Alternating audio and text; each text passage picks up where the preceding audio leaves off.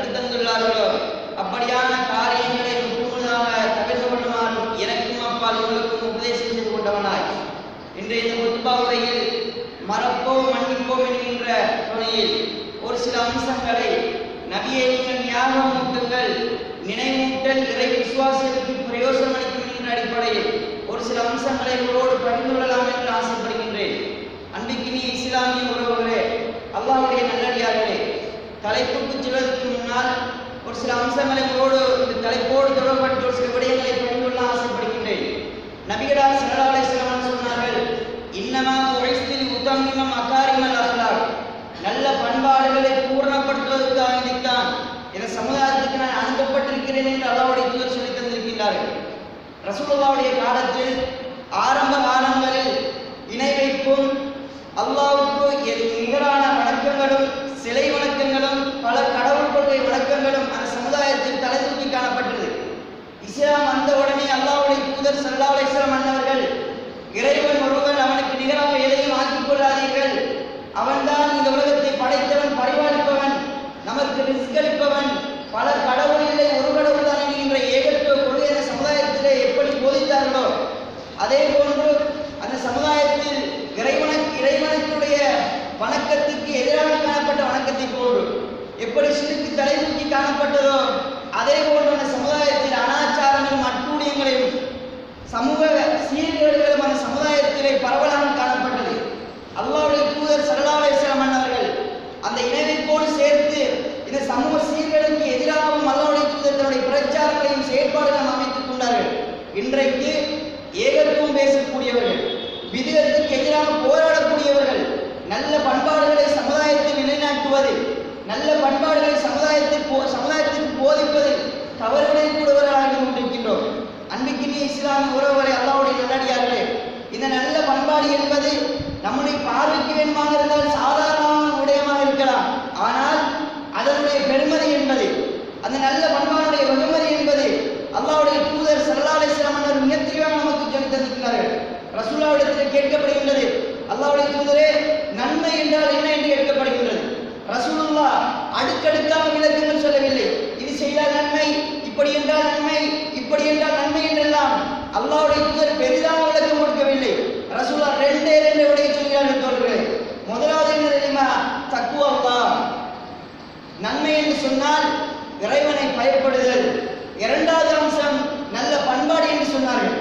அதே போல் மக்களை அதிகமாக சுவர்க்கத்திற்கு கொண்டு செல்லக்கூடியது எது என்று கேட்கப்படுகின்றது ரசூலுல்லாஹ் அதுக்கும் ஏராளமான அம்சங்கள் இருக்கின்றது சுவர்க்கத்துக்கு மனிதனை அழைத்துச் செல்லக்கூடிய ஏராளமான கருவிகளும் வார்த்தைகளும் இருந்து கொண்டிருக்கின்றது ஆனால் அல்லாஹ்வுடைய தூதர் இரத்தின சுருக்கமாக ரெண்டே ரெண்டு விஷயத்தை சொல்கின்றார்கள் இதற்கு அல்லாஹ் அல்லாஹ்வை பயப்படுவதன் மூலமாகவும் அவை முஸ்லிம் குழு நல்ல பண்பாடுகள் மூலமாகத்தான் மனிதர்கள் அதிகமாக சுவர்க்கம் நுழைகின்றார்கள் என்று அல்லாஹ்வுடைய தூதர் ஸல்லல்லாஹு அலைஹி வஸல்லம் சொன்னார்கள் ஒரு மனிதன் சுவர்க்கம் செல்ல வேண்டுமாக இருந்தால் அந்த மனிதன் சுவர்க்கம் செல்வதற்கான அடிப்படையான விஷயம் என்ன தெரியுமா? அவன் ஈமானில் பூரணமுடையவனாக இருக்க வேண்டும். ஒரு மனிதனுடைய ஈமான் பரிபூர்ணமாக அமைகின்ற பட்சத்தில் தான் அந்த மனிதன் சுவர்க்கம் நுழைவான் என்கின்ற செய்தியை ரசூலுல்லாஹி சல்லாலேஸ்வரர் நமக்கு சொல்லித் தருகிறார்கள். அப்படியாக இருந்தால் ஒரு மனிதனுடைய ஈமான் பூர்ணமடைய வேண்டும். அதற்கு என்ன செய்ய வேண்டும் என்பதை இஸ்லாம் நமக்கு சொல்லித் தருகின்றது. ஒரு மனிதன் தன்னுடைய வாழ்க்கையை நல்ல பண்பாடுகளை முழுமையாக கொண்டு வருகின்ற பொழுது நல்ல குணவியல்களை தன்னுடைய வாழ்க்கையினுடைய அடையாள சின்னங்களாக எடுத்து நடக்கின்ற பொழுது அந்த மனிதனுடைய ஈமான் பரிபூர்ணமடையும் என்கின்ற செய்தியை அல்லாவுடைய தூதர் ஸல்லல்லாஹு அலைஹி சொல்லித் தருகிறார்கள் அன்பிக்கினிய இஸ்லாமிய உறவுகளே அல்லாவுடைய நல்லடியார்களே இஸ்லாத்தை பொறுத்த மட்டில் இஸ்லாம் சகல காரியங்களிலும் நல்ல பண்பாடுகளை போதிக்கக்கூடியதாக பார்க்கலாம். எல்லா சமயங்களும் ஒழுக்கத்தை போதிக்கின்றது. ஆனால் இன்றைக்கு ஒழுக்கம் என்பது சமுதாயத்திலே மங்கி கிடக்கு காணப்படுகின்றது. மங்கி வருகின்ற சூழ்நிலையை நாம் பார்க்கலாம் தோழர்களே.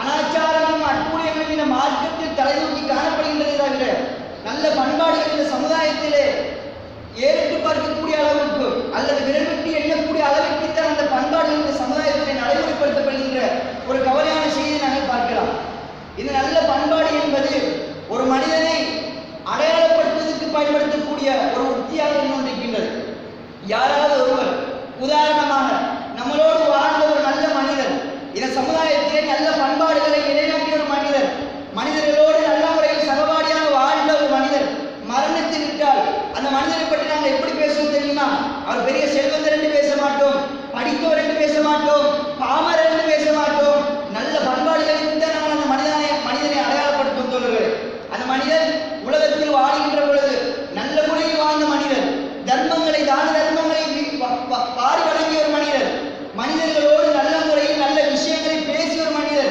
விருந்தாளிகளை உபசரிக்கக்கூடிய ஒரு மனிதர் அண்டை அயலவர்களோடு நல்ல முறையில் நடந்த ஒரு மனிதர் என்று அந்த மனிதனுடைய நல்ல பண்பாடுகளை வைத்துத்தான் அந்த மனிதரை நாங்கள் அடையாளப்படுத்துகின்றோம் அதே ஒரு கெட்ட மனிதர் இந்த சமுதாயத்தில் எல்லா அனாச்சாரங்களையும் அட்டூழியங்களையும் தொந்தரவுகளையும் தொல்லைகளையும் சமுதாயத்தில் வழங்கிய ஒரு மனிதர் மரணித்து விட்டால் அவர் மரணிக்கத்தான் வேண்டும் அவருக்கு தான் வேண்டும்.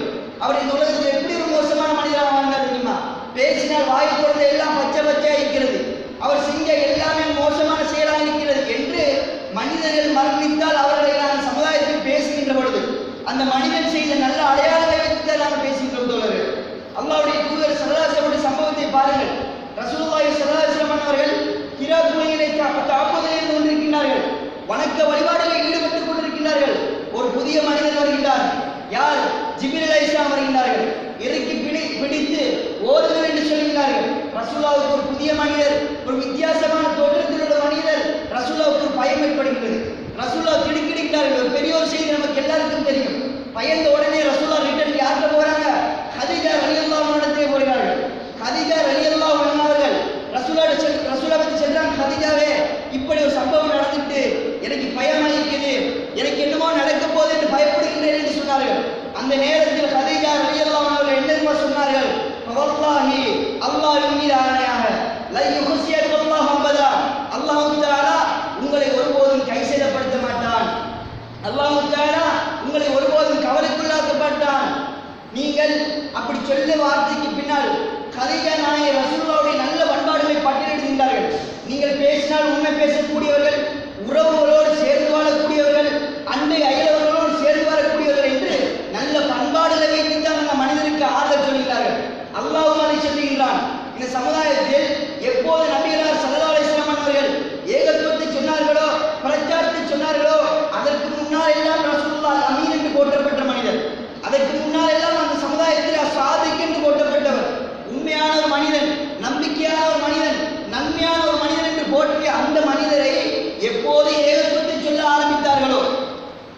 எப்போது இறைவணக்கத்தை நிலைநாட்ட சொல்லி சொன்னார்களோ?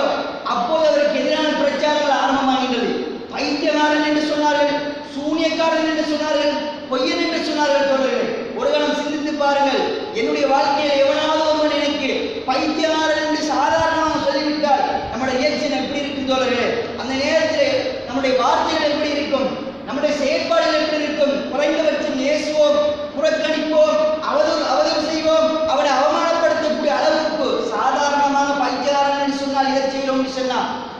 ரசூலுல்லா இல்லைன்னா துயரங்களையும் துன்பங்களையும் தன்னுடைய வாழ்க்கையை சந்தித்தார்கள். இந்த நேரங்கள் எல்லாம் அல்லாவுடைய தூதர் பொறுமையோடு கையாண்டார்கள். இந்த நேரங்கள் எல்லாம் அல்லாவுடைய தூதர் அமைதி காத்தார்கள். அதனால் அல்லாஹ் எப்படி தெரியுமா? அல்லாஹ் எப்படி தெரியுமா நம்பிக்கை ஆதரவு சொல்கிறான் மாண்ட பின் அமர்ந்த நம்பிக்கை மஜ்னூன். நபியே அல்லாவுடைய அருளின் காரணமாக நீங்கள் பைத்தியக்காரன் அல்ல. வைநக்கல வைநலக்கல் அர்ச்சன வயிறு மம்னூன். நீங்கள் மகத்தான பண்புடையவராக இருந்து கொண்டிருக்கிறீர்கள் உங்களுக்கு முடிவுறாத கூலி இருந்து கொண்டிருக்கின்றது இன்னக்கல் ஆளா குழுப்பின் அறியும் நீங்க நல்ல பண்பாடுடைய ஒரு மனிதர் உங்களுக்கு முடிவுறாத கூலி இருக்கின்றது நீங்கள் பைத்தியக்காரன் அல்ல நீங்கள் பைத்தியக்காரன் அல்ல இதை உங்களுடைய மனதிலே ஆழமாக பதிய வைத்துக் கொள்ளுங்கள் தோழர்களே அல்லாவுடைய அல்லாம் அல்லாவுடைய தூதருக்கு ஆறுதல் சொல்வது எதை கொண்டு தெரியுமா நல்ல பண்பாடுகளை வைத்து தான் இந்த மனிதருக்கு அல்லாஹ் ஆறுதல் சொல்கிறார் அல்லாவுடைய ஈமானோடு சம்பந்தப்பட்டு நிறைய விஷயங்கள் பேசுகிறார்கள். பேசுகின்ற எல்லா விஷயத்திலும் அல்லாவுடைய எதை திரும்ப பேசுவார்கள்? ஈமானோடு சேர்த்து பேசுகின்ற பொழுது நல்ல பண்பாடுகளை தான் சேர்த்து பேசுகிறார்கள் மண்காணி உண்மையும் இல்லாய் வழி அவங்களாக யார் அல்லாவையும் மறுமையினாலே நம்பிக்கை கொண்டிருக்கிறார்களோ அவர்கள் பேசினால் நல்லதை பேசட்டும் அல்லது வாய் மூடி மௌனியாக இருக்கட்டும் என்று அல்லாவுடைய தூதர் ஈமானோடு நல்ல பண்பாடுகளை சேர்த்து பேசுகிறார்கள் அப்படி என்றால் ஈமானும் நல்ல பண்பாடுகளும் ஒரு நாணயத்துடைய இரண்டு பக்கங்கள் கொண்டு தோன்றுகிறது ஒரு நாணயத்துடைய ஒரு பக்கம் பெருமதி மிக்க மட்- பெருமதி மிக்கதாக இருக்காது. ஒரு பக்கம் இருந்து இன்னொரு பக்கம் இல்லாவிட்டால் அந்த நாணயம் பெருமதியான ஒரு நாணயமாக இருக்காது. அதே போன்றுதான் ஈமான் இருந்து நல்ல பண்பாடுகள் இல்லையா? அது பூரணத்துவமான ஈமான் கிடையாது. நல்ல பண்பாடுகள் இருந்து ஈமான் கிடையாதா? அதுவும் அந்த மனிதனை சொர்க்கத்துக்கு கொண்டு செல்லாது என்பதை இஸ்லாம் நமக்கு மிக தெளிவாக சொல்லித் தருகின்றது. அன்பிற்கினிய இஸ்லாமிய உறவுகளே நாங்கள் எல்லாம் இன்றைக்கு சமுதாயத்தில் ஒருபோதும் தனித்து வாழ மாட்டோம் என்பதை இந்த உலக நிதர்சனமான வாழ்க்கையை நாங்கள் புரிந்து கொள்ளலாம் ஒருபோதும் ஒரு மனிதன் தனித்து வாழ மாட்டான் பிறந்தது முதல் இறக்கின்ற வரை பிற மனிதனோடு பின்னி பிணைந்தவனாக பிற மனிதனோடு இழந்த கலந்தவனாக தான் வாழ்வானே தவிர தனித்து வாழ மாட்டான் என்கின்ற உலக நிலையை நாங்கள் கொண்டு கொண்டிருக்கின்றோம் இப்படி மனிதர்களோடு கலந்து வாழ்கின்ற பட்சத்தில் மனிதர்களோடு சேர்ந்து அழைக்கின்ற பட்சத்தில் நமக்கு துன்பங்கள் வரும் பிரச்சனைகள் வரும் கஷ்டங்கள் வரும். ரசூலாவுக்கு வராத பிரச்சனை ஒன்று நமக்கு வரப்போறதில்லை ரசூலா எதிர்நோக்காத அளவுக்கு பிரச்சனை நாங்கள் எதிர்நோப்பது கிடையாது. சாதாரணமான பிரச்சனைகள் மனிதன் தன்னுடைய வாழ்க்கையில் சந்திப்பான் என்பதை நாங்கள் புரிந்திருக்கின்றோம். ஆனால் இந்த நேரத்தில் என்னுடைய ஈமான் சரியாக இருக்குமாக இருந்தால் என்னுடைய ஈமானில் குறைபாடு இல்லாமல் ஈமான் சரியாக இருக்குமாக இருந்தால் நான் அதனை சரியான முறையில் கையாள வேண்டும். நான் ஆத்திரப்பட்டு அவசரப்பட்டு செய்தனுக்கு கூட்டாளியாகி யாராவது ஒருவருக்கு ஒரு பிரச்சனை தருகின்றார் ஏசுகின்றார் அடிக்கிறார் துன்புறுத்துகிறார் என்று சொன்னால் அதற்கு பிரதிபலிப்பாக நாங்களும் அதை செய்யக்கூடாது. அதற்கு பிரதிபலிப்பாக நாங்களும் அதை செய்யக்கூடாது. இஸ்லாம் கண்ணுக்கு கண் கைக்கு கை காதுக்கு காது என்று இஸ்லாம் சட்டத்தை சொல்லி தருகின்றது. ஆனால் அதை விட முக்கியமான ஒன்று என்ன தெரியுமா? மன்னிப்பவன் தான் மிகச்சிறந்தது என்கிற செய்தியை இஸ்லாம் நமக்கு சொல்லித் தருவதை நாங்கள் பார்க்கலாம். அன்பிக்கினி இஸ்லாமிய உறவுகளே அல்லாவுடைய நல்லடியார்களே இன்னொரு மிக முக்கியமான விஷயம் என்ன தெரியுமா? இந்த மனிதரோடு பின்னி பிணைகின்ற நாங்கள் எப்போதும் பிரச்சனைகளுக்கு உள்ளாமல் என்பது உலக ஏதி போன்று அந்த பிரச்சனைகளை கையாளுவதற்குரிய வழிமுறையையும் இஸ்லாம் நமக்கு சொல்லித் தருகின்றது. அல்லாவுடைய தூதர் சல்லல்லாஹு மன்னர்கள் நம்மை விட ஏராளமான பிரச்சனை நமக்கு சந்தித்திருக்கிறார்கள். நாங்கள் சந்- நம்- நாம் சந்திக்கின்ற பிரச்சனைகள் அல்லாவுடைய தூதர் சந்திக்கக்கூடிய பிரச்சனைகளுடைய தூசிக்கு கூட சமமாக இருக்காது. அந்த அளவுக்கு ரசூலுல்லாஹி ஸல்லல்லாஹு அலைஹி பிரச்சனை அவர்கள் பிரச்சனையை எதிர்நோக்கி இருக்கிறார்கள் ஆனால் அந்த மனிதர் அந்த- அந்த மனித அந்த சமுதாயத்தோடு அந்த மாமனிதர் அந்த துன்பங்களை தந்த தந்த அந்த மாமனிதரோடு எப்படி தெரியுமா நடந்திருக்கிறார்கள் வரலாறை புரட்டி பார்த்தால் இப்படி ஒரு மனிதரா வாழ்ந்தார் என்று ஆச்சரியப்படி ஆச்சரியப்படக்கூடிய அளவுக்கு அவருடைய நடத்தைகள் அவருடைய செயற்பாடுகள் அந்த அளவுக்கு இருந்திருக்கிற தோழர்கள். அல்லாஹ் குவானில் அதை உயர்த்தில் வாங்கி தருகிறான் பபிமா ரஹ்மத்தி மின் அல்லாஹ் இதெல்லாம் வளர்க்குந்த பந்தன் கதையில் கல்வி வன் பந்தம் மின் ஹவுலே நபியே நீங்கள் அந்த சமுதாய மக்களோடு கடுகடுப்பானவராக கடின உள்ளம் கொண்டவராக நீ இறுக்கமான ஒரு மனிதனாக இருப்பீர்களாக இருந்தால் இன்றைக்கு இஸ்லாம் இந்த அளவுக்கு வளர்ந்திருக்காதே. அவர்களை விட்டு ஓடி இருப்பார்கள் அவர்களை மன்னித்து விடுங்கள். அவர்கள் தவறு செய்திருந்தால் அவர்களை மன்னித்து விடுங்கள். வஸ்தக்ஃபிர் அவர்களுக்காக பாவ மன்னிப்பு தேடுங்கள் என்று இஸ்லாம் சொல்கிறது அந்த மனிதர் யாராவது ஒரு மனிதன் துன்பம் தந்தால் ம- மன்னிப்பதோடு மாத்திரம் நின்று விடாதீர்கள் தோழர்களே. அவர்களுக்காக பாவ மன்னிப்பு கேளுங்கள் என்கிற செய்தியை இஸ்லாம் நமக்கு சொல்லி தருகிறது நாங்கள் எல்லாம் ஏதாவது பிரச்சனை வருகின்ற பொழுது மறக்க மாட்டோம். மனதிலே அதை வைத்துக் கொண்டுதான் அந்த மனிதரோடு பழகின்றோம் கள்ளம் கவனமற்ற உள்ளமாக நாங்கள் யாருமே இருப்பது கிடையாது. யாராவது ஒரு மனுஷனுக்கு ஏதாவது ஒரு அநியாயம் செஞ்சுட்டான் ஏதாவது ஒரு கஷ்டத்தை தந்துட்டான்னு சொன்னா நான் அவனை மன்னிச்சுட்டேன் அப்படின்னு வாயால தான் சொல்றோமே தவிர மனதால் மறப்பது கிடையாது தோழர்களே.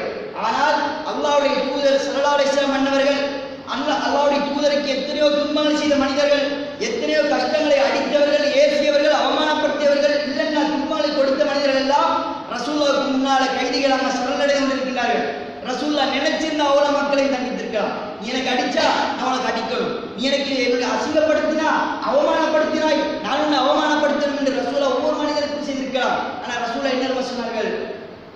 இதுகபு வான்முத்துலக்கா நீ எல்லாருமே சொல்லுங்க. நான் உங்க எல்லாரையும் மன்னிச்சுட்டேன் நீங்க சுதந்திரமானவர்களாக நீங்க திரும்பி விடுங்கள் என்று சொன்னார்கள். இது எப்ப நடந்த சம்பவம் தோழர்களே? ஹிஜ்ரி எட்டு பத்து பத்து மக்கா.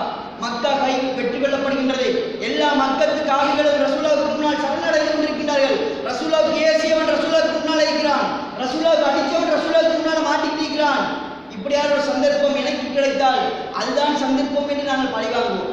அதுதான் சரியான நேரம் என்று நாங்கள் அவனுக்கு அடிப்போம் ஏசுவோம் அவனம் அவமானப்படுத்துவோம். ஆனால் ரசூலுல்லாஹி ஸல்லல்லாஹு அலைஹி அப்படியான ஒரு முன்மாதிரி நமக்கு சொல்லித் தருகிறது அதனால தான் அல்லாஹ் குர்ஆன்ல சூரத் அஹ்ராஃபுடைய 199 வசனத்திலே பேசி காட்டுகிறான் எப்படி தெரியுமா? புதிய அஃபுவ. நபியே நீங்கள் மன்னிப்பு எடுத்துக்கொள்ளுங்கள் கொள்ளுங்கள். பில் உர்ஃபி நீங்கள் நல்லதை ஏவுங்கள். வஅரில் ஜாஹிலீன் நீங்கள் மடையர்களை புறக்கணித்து விடுங்கள் என்று சொல்லுகிறார் இன்னொரு வசனத்தை அல்லாஹ் எப்படி பேசுவேன் தெரியுமா? நாற்பத்தி ரெண்டாவது அத்தியாயம். நாற்பதாவது வசனத்தில் சொல்லி தருகின்றான் "வஜஸாஉ செய்யத்தின் செய்யத்தின் மிஸ்லஹா." ஒரு தீமைக்கு கூட அதை போன்ற ஒரு தீமை தான். ஆனால் பமன் அஃபா. யார் மன்னித்து வாஸ்லஹ அதனை சீர் செய்து கொள்கிறார்களோ பிரச்சனை ஏற்படுகின்ற பொழுது யார் மன்னித்து அதனை சீர் செய்து கொள்கிறார்களோ அஜ்ருஹு அலல்லாஹ் அவருக்கான கூலி அல்லாஹ்விடத்தில் இருக்கின்றது அவருக்கான கூலி இறைவன் வைத்திருக்கின்றான் எப்படி நோன்பு எனக்குரியது அதுக்குரிய கூலியை நான் வழங்குவேன் என்று அல்லாஹ் சொல்லித் தருகின்றானோ நோன்புக்கு அல்லாஹ் இவ்வளவுதான் கூலி என்று வரையறுக்கவில்லை அதே போல அல்லாஹ் குர்ஆனிலே மிக தெளிவாக சொல்லித் தருகின்றான் ஃபமன் அஃபாவ அஸ்லஹ ஃபஅஜ்ருஹு அலல்லாஹ் யார் மன்னித்து அதனை சீர் செய்து கொள்கிறார்களோ அதற்கான கூலி இறைவனிடத்திலே இருக்கிறது என்று அல்லாஹ்வுடைய தூதர் ஸல்லல்லாஹு அலைஹி வஸல்லம் நமக்கு சொல்லித் தருகிறார்கள் அன்பிற்கு நீ இஸ்லாமிய உறவுகளே அல்லாஹ்வுடைய நல்லடியார்களே நாங்கள் நம்முடைய வாழ்க்கையில் ஏராளமான செய்திகளை நாங்கள் சம்பவங்களை உதாரணங்களாக நம்முடைய இந்த மன்னிப்புக்கு நாங்கள் எடுத்து நோக்கலாம் பாருங்கள் அனஸ் ரலியல்லாஹு அன்ஹு அவர்களும் அல்லாஹ்வுடைய தூதர் ஸல்லல்லாஹு அலைஹி வஸல்லம் அவர்களும் மதீனாவுடைய ஒரு எல்லையிலே போய் கொண்டிருக்கிறார்கள் அந்த நேரத்தில் ஒரு யகூதி வந்து ரசூலா ஒரு துண்டு போட்டிருந்தாங்க ரசூலா போட்டிருந்த துண்டை பிடிச்சி கழு கழுத்தை இழுக்கிறார் ரசூலா போட்டிருந்த துண்டை அந்த மேலங்கியை பிடிச்சி அந்த யகூதி வந்து பிடிச்சி இழுக்கிறார். இழுத்து இழுக்கையில் அனுசரியாக சொல்றாங்க ரசூலா புறம் எடுத்து பார்த்தா அந்த அளவுக்கு அது ச- ரசூலாவுடைய அந்த கழுத்து துண்டு ரசூல்லாவுடைய கழுத்து துண்டு சிவந்து காணப்பட்டது என்று சொல்லப்படக்கூடிய அளவிற்கு ஒரு மிக உச்சகட்டத்தில் உச்சம் இறுக்கி பிடிக்கிறார். பிடிச்சிட்டு கேட்கிறாரு அந்த யகூதி சொல்றாரு அல்லாவுடைய தூதரே நாங்கள் இளைஞராக இருக்கிற நேரத்தில் நாங்கள் இளைஞராக இருக்கிற நேரத்தில் எங்களுக்கு வரியா இருக்கீங்க எங்களுக்கு வரி அறிவித்தீர்கள் நாங்கள் அந்த நேரத்தில் உங்களுக்கு வரி கட்டினோம். இப்போ நாங்கள் வயசு வயசு வைத்து எங்களுக்கு ஒன்றுமே செய்யலாம இருக்குது. ஆனால் எங்களை கணக்கெடுக்கல. நீங்களை அப்படியே விட்டுட்டீங்களே கண்டுக்காமிக்கிறீங்களேன்னு கேட்குறாங்க. அந்த நேரத்தில் ரசூல்லா ஒரு யூதன். அட நான் இவனை ஆட்சி என்னுடைய அதிகாரத்தின் கீழ் இருக்கக்கூடியவன். எனக்கிட்ட அடிச்சு அவனுக்கு தேவை எனக்கு அதிகாரத்தோடு கேட்கிறான் என்று. அல்லாவுடைய தூதர் அதிகாரத்தோடு அந்த அதிகார பவர் அந்த இடத்துல காட்டுறேன் அட நான் எவ்வளவு பெரிய மனிதன். என்கிட்ட எவ்வளவு அதிகாரம் இருக்குது நான் அல்லாவுடைய தூதர். என்ன நீ கழுத்தை பிடிச்சே கேட்கணும்? சும்மா தட்டி கேட்டிருக்கலாம் தானே. முன்னுக்கு வந்து பேசி கேட்டிருக்கலாம் தானே. என்ன கழுத்தை பிடிச்சி தான் நீ கேட்கணுமா என்று அவர் அல்லாவுடைய தூதர் மோசமான முறையில் அந்த மனிதரோடு நடந்து கொள்ளவில்லை. தோழர்களை பார்த்து சகாபாக்களை பார்த்து சொன்னார்கள் அந்த மனிதருக்கு பைத்துல் மாலில் அவருக்கு கொடுக்க வேண்டியது கொடுங்கள் என்று சொன்னார் அதே போன்று இன்னொரு சம்பவத்தை பார்த்து அல்லாவுடைய தூதர் சல்லா அலிஸ்லாம் வஸல்லம் அவர்கள் கேட்கப்படுகின்றது கேட்கப்படுகிறது எனக்கு கீழாக வேலை செய்கிறவன் தவறு செய்தால் எனக்கு கீழால் வேலை செய்யக்கூடியவன் தவறு செய்தால் நான் அவனுக்கு எந்த அளவு மன்னிக்க வேண்டும்? எத்தனை தடவை ஒரு நாளைக்கு அவன் மன்னிக்க வேண்டும் கேட்கிறார் ரசூலை முதலாவது கேட்டோன்னே அமைதியாக இருக்காங்க. ரெண்டாவது டைம் அதே கேள்வி ரிட்டன் கேட்குறாங்க. அல்லாவுடைய தூதரே எனக்கு கீழால வேலை செய்யற ஆட்களுக்கு அவர் தவறு செய்தால் நான் என்ன செய்யணும்? எத்தனை வாட்டி மன்னிக்கணும்னு கேட்குறாங்க. ரசூலை ரெண்டாவது வாட்டி அமைதியாக இருக்கிறார்கள் மூணாவது தடவை அல்லாவுடைய தூரத்தில் கேட்கிற பொழுது ரசூலா சொன்னார்கள் சபீன மர்றா அவன் எழுபது தடவை மரம் தவறு செய்தாலும் ஒரு நாளைக்கு எழுபது தடவை தவறு செய்தாலும் நீ அவனை மன்னித்து விடு என்று சொன்னார்கள். இன்றைக்கு வியாபாரத்தில் ஈடுபடக்கூடியவர்கள் ஒருவர் அவனுடைய வியாபாரத்தில் இருக்கக்கூடிய அந்த தொழிலாளர்களை பார்த்து கொஞ்சம் யோசிச்சு தவறு செய்யாமல் யாரும் இருக்க மாட்டார்கள். அறிந்தோ அறியாமலோ மனிதன் தவறு செய்யக்கூடிய என்பதை நாங்கள் எல்லாம் நமக்கெல்லாம் தெரியும். மனிதன் பாவங்களுக்கும் மரணனுக்கும் மத்தியில் படைக்கப்பட்டிருக்கான் என்ற செய்தி நமக்கு தெரியும். அப்ப நம்மட நமக்கு கீழால வேலை செய்கிறவன் தவறு செய்தால் மனிதன் அடிப்படை நாம என்ன செய்யணும்? மன்னிக்கணும். அதுதான் மனித அந்த மனிதனுடைய பண்பாக இருக்கும். ஆனா அவன் நம்ம என்ன செய்யறது? ஒரு தப்பு செஞ்சுட்டான் அந்த தப்பு என்னுடைய வியாபாரத்தில் மிகப்பெரிய நஷ்டம் கொண்டு வருது. எனக்கு அது ஒரு அவமானத்தை கொண்டு வருகிறது என்பதற்காக வேண்டி அவனை தண்டிக்கின்றோம் அவமானப்படுத்துகின்றோம் அசிங்கப்படுத்துகின்றோம் அவனுடைய தொழிலை விட்டு நாங்கள் தூரமாக்கின்றோம். இது இஸ்லாம் காட்டி தந்த ஒரு சரியான முறை அல்ல. அல்லாவுடைய தூதர் சொன்னார்கள் உங்களுக்கு கீழே வேலை செய்கிறவன் ஒரு நாளைக்கு எழுபது தடவை மன்னி தவறு செய்தால். ஒரு நாளைக்கு எழுபது தடவை தவறு செய்தாலும் நீங்கள் அவரை மன்னியுங்கள் என்கின்ற நல்ல செய்தியை நல்ல பண்பாடு இஸ்லாம் நமக்கு கற்றுத்தருகின்றது அவைகள் நம்முடைய வாழ்க்கையினுடைய வழிகாட்டிகளாக இது நல்ல பண்பாடுகளை நம்முடைய வாழ்க்கையினுடைய அம்சங்களாக தன்னுடைய அனைத்து செயல்பாடுகளிலும் கொண்டு வரக்கூடிய மனிதர்களாக ரபுல் அடங்கி என்னை மூலியமாக ஆக்கிடுவானாக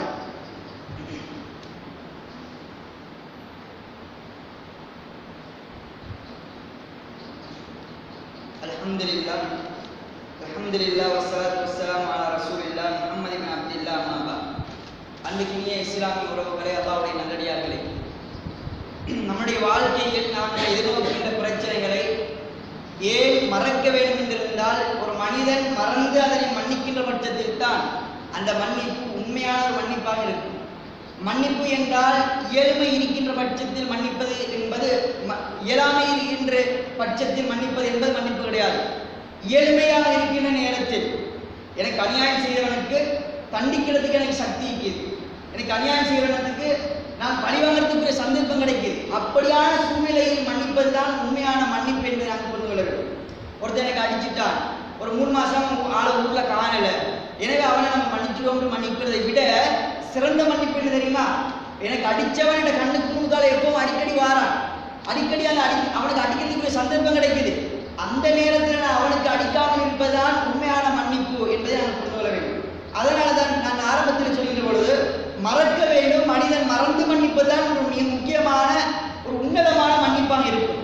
மறக்காம மனசுக்குள்ள அவன் செஞ்ச அநியாயத்தெல்லாம் வச்சுக்கிட்டு அவன் என்னெல்லாம் கஷ்டமெல்லாம் செஞ்சானோ என்ன அநியாயம் செஞ்சாலும் எல்லாத்தையும் மனசுல வச்சுக்கிட்டு அவனை மன்னிப்பது என்பது வாயளவில் தான் மன்னிப்பு இருக்குமே தவிர மனதளவில் அது உண்மையான மன்னிப்பாக இருக்கின்றார் இருக்காது.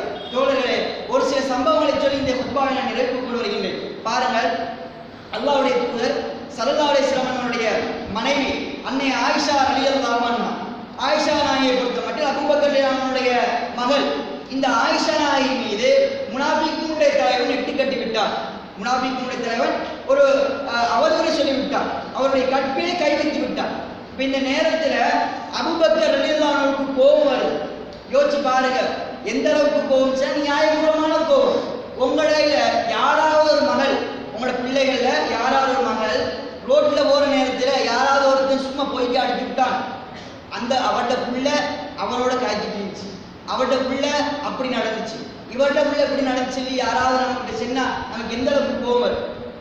எந்த அளவுக்கு நாங்கள் அந்த மனிதன் நமக்கு அப்படி சென்ன மனிதர்களோடு கடைசி வரைக்கும் நாங்கள் இருக்காங்க என்னுடைய மரணத்தில் கூட அவனை முடிக்க வேண்டாம் என்று சொல்லக்கூடிய அளவுக்கு ஏன்னா பெத்த பிள்ளைக்கு மேலே பழி சுமத்திட்டான் பெத்த பிள்ளை மேலே அவதூறு சொல்லிட்டான் அந்த மனிதனோடு நாங்கள் ஒருபோதும் ஒட்டி உறவர மாட்டோம். மனிதனுடைய இயல்பு தோழர்கள் அதனால அபுபக்கர் ரலியல்லாஹுடைய மகள் மீது அந்த மனிதன் அவதூறு சின்ன பொழுது அந்த அவதூரை பரப்புவதில் அபூபக்கர் அவனுடைய சொந்தக்காரனான மிஸ்தன் என்பவரும் உடந்தையாக விடுகின்றார் அபு ஆயிஷா நாயே ஆயிஷா நாயனுடைய கற்பில பலிசுமத்து ப- அந்த பலிசுமத்ததில் மக்களில் பரப்புவதில் மிஸ்தகம் பங்கெடுத்து விட்டார். இதற்கு மிஸ்தம் அபுபக்கர் அவனுடைய குடும்பத்தைச் சேர்ந்தவர். இந்த மிஸ்தம் ஒரு ஏழை. இந்த மிஸ்தம் என்கின்ற தோழர் ஒரு ஏழை.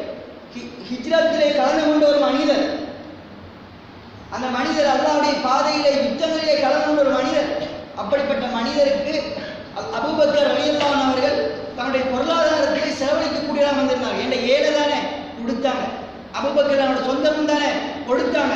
அந்த நேரத்தில் பாருங்க தோழர்களே இந்த செய்தி கேள்விப்பட்ட உடனே ரசுல்லாவுடைய மனைவியின் மீது பங்கம் விளைவித்து விட்டான் என்னுடைய மகனுடைய கற்பின் மீது அவதூறு சொல்லிவிட்டான் என்ற கோபத்தில் ஒரு வாச வாசகத்தை சொல்கிறார்கள் அடிக்கலை ஏசலை ஒரே ஒரு வார்த்தை இதற்கு பின்னால நான் மிஸ்டருக்கு செலவழிக்க மாட்டேன் எந்த சொ- சொத்துல இருந்து நான் இதுக்கு முன்னால அவனுக்கு கொடுத்துட்டு வந்தேன் இதற்கு பின்னால ஒரு ரூபா கூட அவனுக்கு கொடுக்க மாட்டேன்டா அல்லாஹ் தாலா இதை கண்டித்து வசனத்தை இருக்கின்றான் ولا يعتل أولي الفضل منكم والسعة أن يؤتوا أولي القربى والمسا- والمساكين والمهاجرين في سبيل الله உங்களில் வசதி படைத்தவர்கள் செல்வம் படைத்தவர்கள் அதிகாரம் மிக்கவர்கள் ஒருபோதும் ஏழைகளுக்கும் உறவுகளுக்கும் அல்லாவுடைய பாதையில் விக்கிரி செய்தவருக்கும் கொடுக்க மாட்டேன் என்று சத்தியம் செய்ய வேண்டாம் என்று சொன்னார்கள்.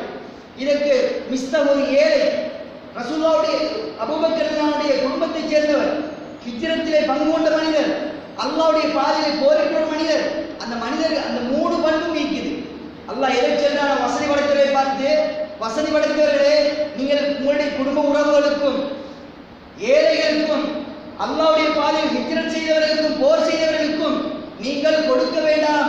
கொடுக்காமல் இருப்பதை நிறுத்த வேண்டாம் என்று சொல்லினாலும் இந்த மூணு பண்பும் மிஸ்தருக்கு இருந்துச்சு.